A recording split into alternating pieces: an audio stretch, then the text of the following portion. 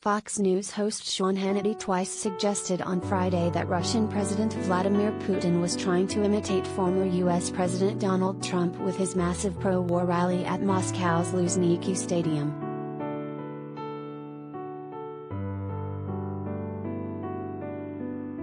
It looks like Vladimir Putin is channeling his inner Donald Trump, Hannity, who once joined Trump on stage at a campaign event, first said on his radio show.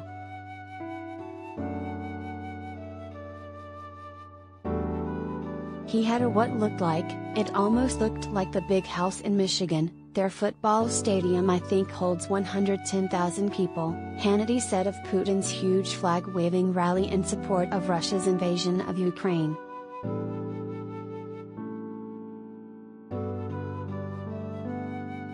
By the way, if you didn't show up you probably got in trouble, Hannity noted.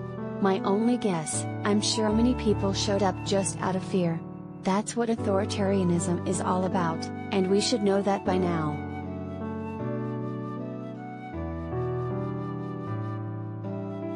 Listen to the audio here.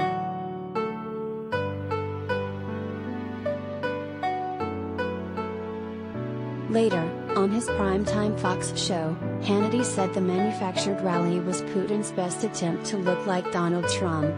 He also called Putin a murderous thug and said his war on Ukraine had become a humiliating disaster.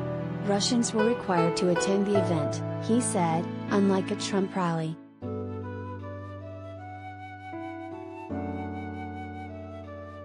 Watch the video here.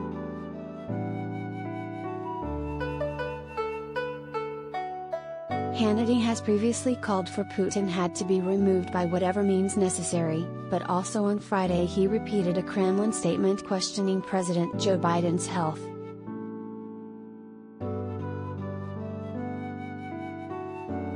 Now, like I've been saying, Biden's weakness on the world stage, it is emboldening bad actors all across the globe, Hannity said after reading the Russian talking point word for word.